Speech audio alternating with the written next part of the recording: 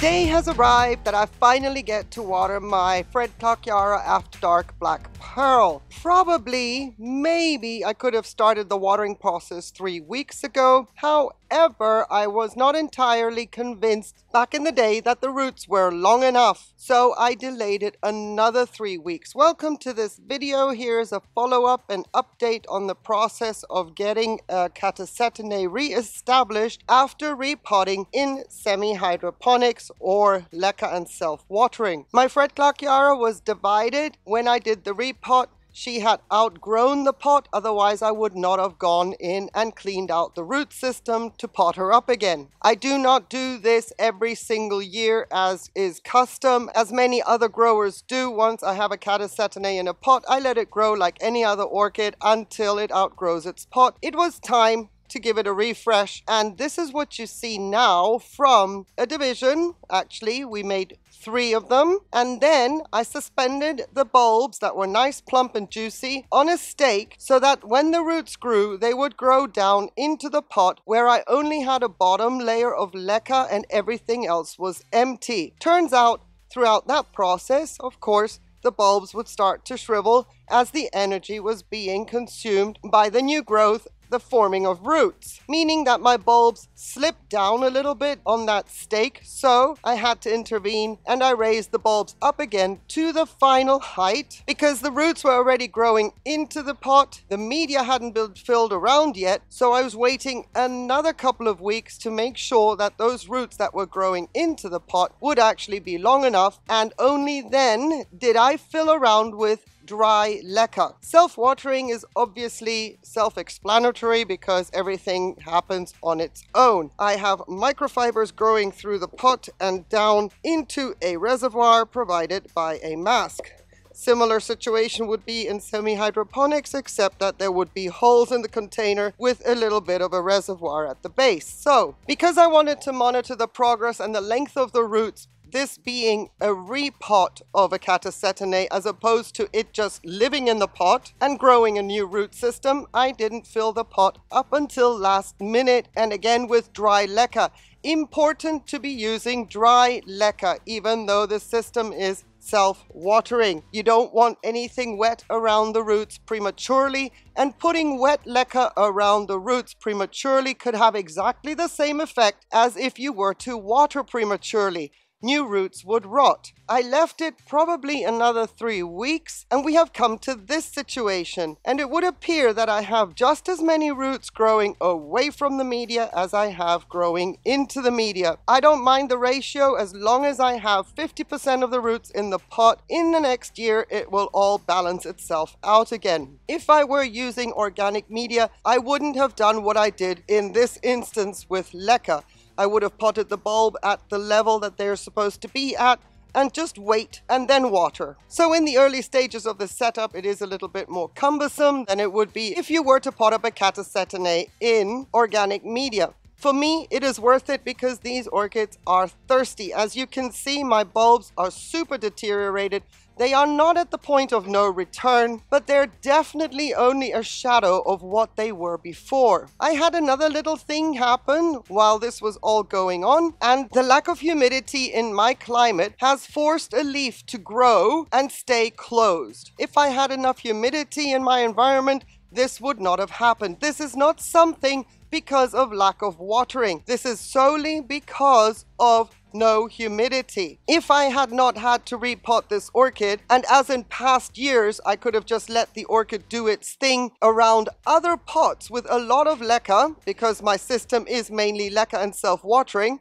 this leaf would not have got caught up and would have developed normally. So what I did was just take a knife and just quickly slice it through to the point down at the apex and then opened it up a little bit. I also checked to see if this was continuing on with the subsequent leaves within that tube that had formed, but no, all the leaves in there are open and they're okay. Again, because there's a lot more humidity within that tube, it provided some form of protection. The outer leaf didn't have those benefits. So if that happens to your Catasetinae, don't worry about it. It's very easy just to slice down along a vein, open the leaf up, and then everything is going to grow as per normal.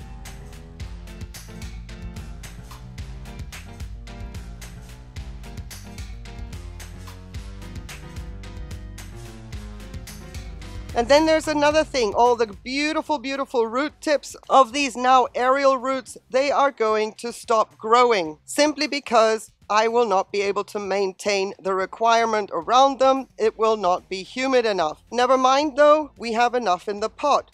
So why not give this orchid its first proper drink?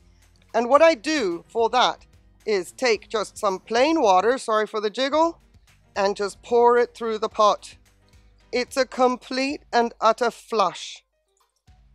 And I do that with about a liter and a half of water. Just letting it run through, first contact with water, and then only a little bit of the runoff for humidity's sake will be in the reservoir.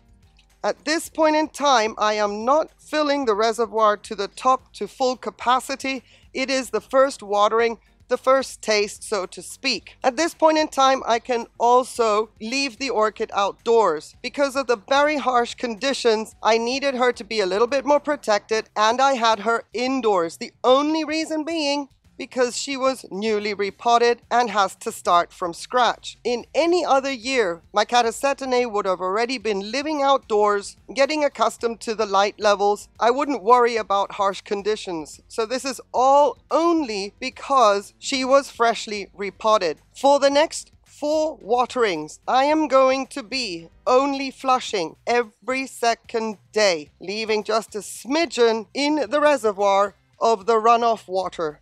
At this stage, it is not full on watering. There's barely anything at the base of this pot.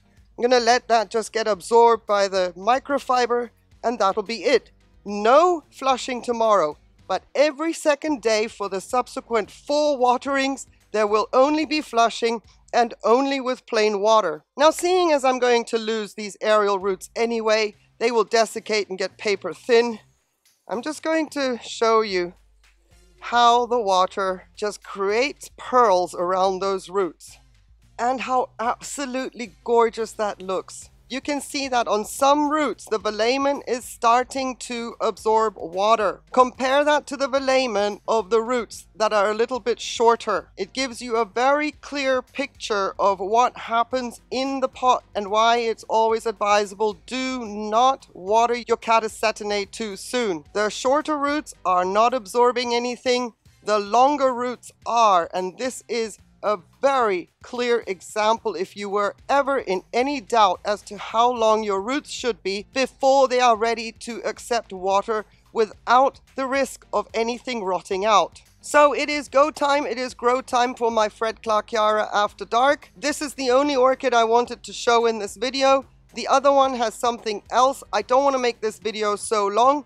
We're going to look at the other one, my Jack of Diamonds, in a separate video because certain things have happened there as well, which are a little bit astounding and should be discussed completely separately. I hope this was of interest. Now we monitor how the bulbs are going to recover. And from now on, she's going to live on the east side of my patio, behind the white curtain, getting accustomed to stronger light, but definitely not in direct sun. I hope that this was helpful. I really appreciate the time you took watching the video. If you have any questions, please leave them in the comments. I'll be happy to answer anything and everything that comes my way. Have yourselves a fabulous day on one condition though, please, that you stay safe. Take care. Bye.